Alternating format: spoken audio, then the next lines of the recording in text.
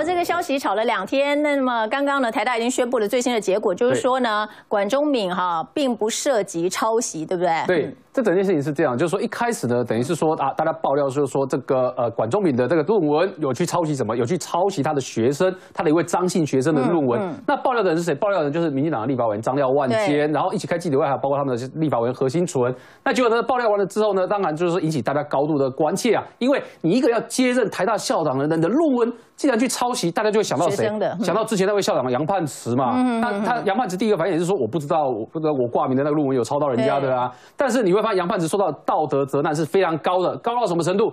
高到他宣布，就是说他不再连任台大的校长。换言之，如果一个台大的校长有做这样论文抄袭的事情，我想很多人很自然就说你根本没有资格当个校长。结果没想到后来大逆转了。对，大家没有要大逆转，因为第一时间这些立委所提出来质疑说，哎，两个论文有二十四个地方是有抄袭的问题，大家是一模一样，甚至连图表哦，那个图形弯曲的地方也一样。然后所以他们说这里面就是。复制贴上、剪接贴上的概念嘛，所以大家也很关心这件事情啊。可是你知道吗？昨天晚上我听到这几位委员在上节目在讲东西的时候，我就捏一把冷汗。嗯嗯。为什么捏一把冷汗？因为这这个委员竟然说出一句话：嗯，这两篇论文这么多地方一样，一定有一个人去抄另外一个人。对，只是说。要台大要调查清楚是谁抄谁，对，是 A 抄 B 还是 B 抄 A？所以我们的观众朋友就发现一件事情哦，这件事情告诉你说有百分之五十的机会，因为反正不是 A 抄 B 就是 B 抄 A 的嘛。对，这件事里面有百分之五十的机会，这些立法委员是干嘛？是赌错的。对，他是有可能出错的，就真的出错。结果呢？没想到到今天，你看到台大诚信办公室所做的回应，台大诚信办公室。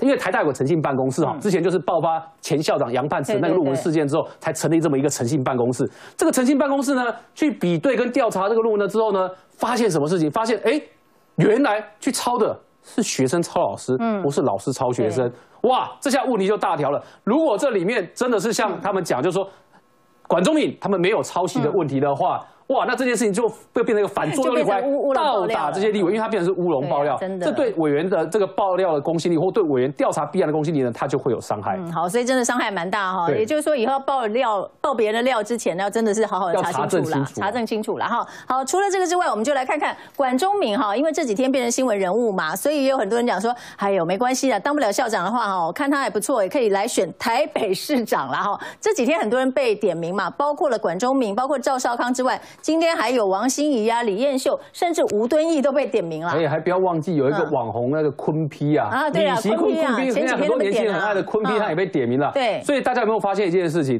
本来在国民党内就有一个初选机制，初选机制就是让想要参选的人来选。想要参选的人本来已经有谁？有郑丽文，对不对？然后你有看到丁守中，那结果呢？在蒋万安宣布退选之后呢，对这所有人来说都造成一个很有趣的现象，叫做唱衰效应。什么叫做唱衰效应呢？哎，本来吴敦义国民党党主席吴敦义是高度的期望蒋万安，国民党立法委员蒋万安，因为长得年轻有为，长得又帅，希望他可以出来参选。结果呢，蒋万安竟然说我不选。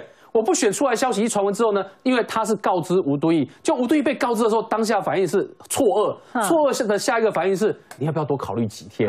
那你知道这一句话一下去呢，就告诉说，哎，原来吴敦义对这件事情这么震惊啊。然后你看到新闻的报道，又出现一个新闻叫做。哦，听到蒋万安退选的新闻，国民党党务高层主管吃不下饭，连饭都吃不下去，连饭都吃不下去，太难过了。换言之呢，你会发现吴敦义跟国民党高层其实是主意蒋万安出来选，哎呦，那也告诉你，就是说，在他们心里觉得丁守中跟其他的候选人出来选的胜选几率都比不上蒋万安。哎，各位，这样的一个新闻出来之后，等于是怎么样？间接在唱衰丁守中跟其他的候选人，这其实对丁守中非常的不公平。为什么非常不公平？你做了这样的说法出来之后，哎，有地方的主管还说，哎呀，不然把这个丁这个丁守中拿去跟昆批李习坤做搭档，因为他是网红嘛。嗯。换言之，他也告诉你一件事情，他们担心丁守中吸不到年轻选票。哎，你这对丁守中等于是还没参选就先否定他哦。哎那更不用说我，你刚刚看了几个候选人，什么李彦秀也提出来，然后呢，王心怡也提出来。哎，大家想想看，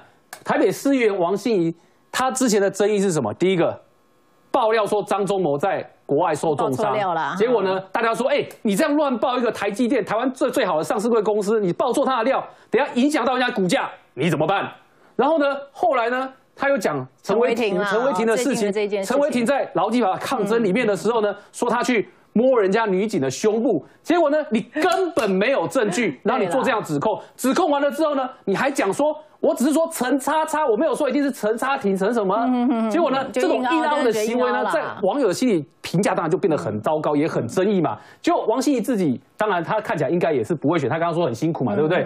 那结果又点了立法委李彦秀，李彦秀就告诉你说，没有没有没有，我只是想要好好做个书记长而已。换之他也没有意愿。然后又点到谁？又点到管中敏，竟然说管中敏当不了台大校长，你来酸起定，你来酸起定。哎，是人人都可以选吗？就怎样啊？对，所以你有没有发现一件事情？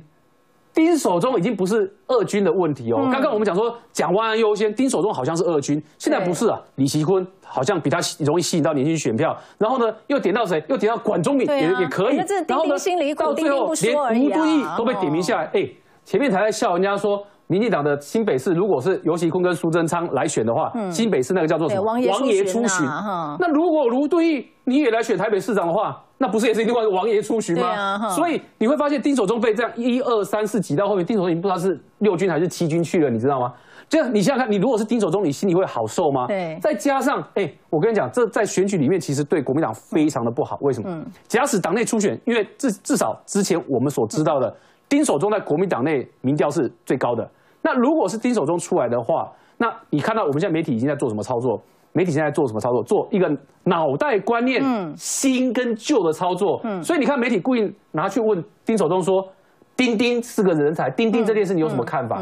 啊，丁守中被媒体写什么？生气、愤怒，被下了个标题。那你现在对年轻人来说，哎。被叫做丁丁，你是有什么好生气的？你说大方说丁丁是个人才，甚至你丁手中就把它变成很多的漫画图，然后变甚至放在自己的头上变一个布条。年轻人反而会觉得，哎，你有创意，你有梗，对，对不对？然后你不会把别人笑你东西当做是什么，当认真的当做回事。然后你不要接纳他，你还转化变成是笑自己。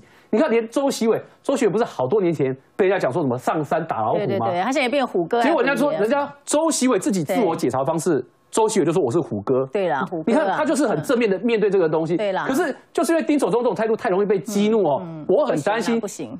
今年的选举会把他跟柯文哲操作成两个极端，柯文哲是好玩有趣，然后呢，丁守中就是老老老就只有老这件事情而已，然后什么事情都愤怒。然后你想想看，嗯，建平，如果你是新闻主管，嗯，你会不会叫记者三不五时去嘟丁守中的麦？这个。丁丁委员，有人叫你丁爷爷，你的感觉是什么？啊，他如果突然又愤怒起来的话，是不是又变成一个新闻让大家操作？这就是为什么上次他跟吴思瑶选的时候呢，他的关键交叉，丁守中上一届跟吴思瑶在选立委的时候，关键交叉在哪里？就是在他说人家。都已经四五十岁了，还要人家叫你姐姐。所以说，如果他要出来选的话，他的幕僚可能这个脑袋要比较灵光一点啦，对不对？哈，要比较有梗，要新一点啦。好，不过你觉得是不是现在要选的话，一定要找政治明星？你若不是政治明星的话，你跟柯批没得拼啊。哎，我觉得除了政治明星之外呢，最重要是他的讲话要让人家有感觉，要有感。然后他是要一个新的观念，所以即便他可能不仅是政治明星，他在政治上有一点有一有一定的分量，嗯，但是出来选的时候呢，你一定要表现的跟这个传统政治人物不一样，对，因为像姚文智，我觉得姚文智是一个很好的人才，可是姚文智的问题就在于他太沉稳，他讲的话对年轻人来说。